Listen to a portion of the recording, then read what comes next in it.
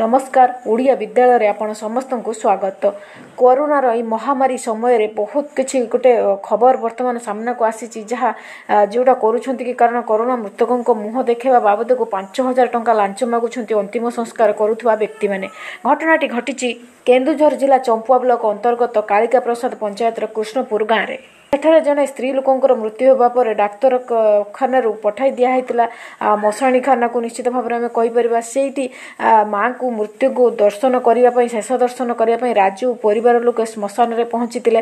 କାରଣ ଅନ୍ତିମ ଦର୍ଶନ ପାଇଁ ପରିବାର ଲୋକ ସେଠାରେ ପହଞ୍ଚିଥିଲେ ଆଉ ଲୋକଙ୍କୁ କହିଥିଲେ। କିନ୍ତୁ ଅନ୍ତିମ ସଂସ୍କାର କରୁଥିବା ଲୋକେ ପାଞ୍ଚ ହଜାର ଟଙ୍କା ଦାବି କରିଥିଲେ। କିନ୍ତୁ ରାଜୁ ଏକଥା ସୋସିଆଲ ମିଡ଼ିଆରେ ଭାଇରାଲ କରିବାର ଧମକ ଦେବାରୁ ଶବ ସଂସ୍କାର କରୁଥିବା ଲୋକେ ତାଙ୍କୁ ଲକ୍ଷେ ଟଙ୍କା ଦେଲେ ମଧ୍ୟ ସିଲ୍ ହୋଇଥିବା ଶବକୁ ଖୋଲିବେ ନାହିଁ ବୋଲି ପାଲଟା ଧମକ ଦେଇଥିଲେ। ପରେ କିନ୍ତୁ ରାଜୁ ଆଉ ତାଙ୍କ ପରିବାର ଲୋକଙ୍କୁ ଶ୍ମଶାନରୁ ବାହାର କରିଦିଆଯାଇଥିଲା ଏହି ଘଟଣା ବର୍ତ୍ତମାନ ସୋସିଆଲ ମିଡ଼ିଆରେ ଭାଇରାଲ ହେବାରେ ଲାଗିଛି। ଆହୁରି ଗୋଟେ କଥା ହେଉଛି ମିଳିଥିବା ତଥ୍ୟ ଅନୁସାରେ କେନ୍ଦୁଝର ଜିଲ୍ଲାରେ ଯେଉଁ କୃଷ୍ଣପୁର ଗାଁରେ ମୃତ୍ୟୁବରଣ କରିଛନ୍ତି ବିମଳା ପାତ୍ର ଯାହାର ବୟସ ପଞ୍ଚାବନ ବର୍ଷ ରହିଛି କିଛି ଦିନ ତଳେ ସେ ଅସୁସ୍ଥ ହୋଇପଡ଼ିଥିଲେ। ପରିବାର ଲୋକେ ତାଙ୍କୁ ଚମ୍ପୁଆ ଡାକ୍ତରଖାନାରେ ଭର୍ତ୍ତି କରିଥିଲେ। କିନ୍ତୁ ଭାଇରାଲ ଭିଡ଼ିଓ ହୋଇଥିବା ଭିଡ଼ିଓରୁ ହୋଇଥିବା ଭିଡ଼ିଓରେ ତାଙ୍କ ପୁଅ ରାଜୁ ପାତ୍ର କହୁଥିବା ଜଣାପଡ଼ିଛି ଯେ କୋଭିଡ୍ ନେଗେଟିଭ୍ ସତ୍ତ୍ୱେ ବି ତାଙ୍କୁ ରାଙ୍କି କୋଭିଡ୍ ହସ୍ପିଟାଲରୁ ପଠାଇ ଦିଆଯାଇଥିଲା। ନିଶ୍ଚିତ ଭାବରେ ଆ ପରେ ହିଁ ଯେଉଁ ଏହି ଲାଞ୍ଚ ଘଟଣା ହିଁ ସାମ୍ନାକୁ ଆସିଛି ସବୁଠାରୁ ବଡ଼ କଥା ହେଉଛି ଲାଞ୍ଚ ମାଗିବା।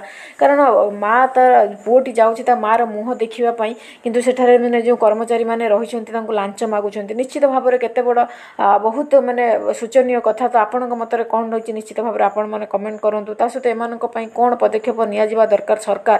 ନିଶ୍ଚିତ ଭାବରେ ଆପଣମାନେ ଡିସାଇଡ଼୍ କରନ୍ତୁ। ତା ସହିତ ଓଡ଼ିଆ ବିଦ୍ୟାଳୟ ଚ୍ୟାନେଲକୁ ସବସ୍କ୍ରାଇବ୍ କରିବାକୁ ମଧ୍ୟ ଭୁଲନ୍ତୁ ନାହିଁ। ରହୁଛି ନମସ୍କାର।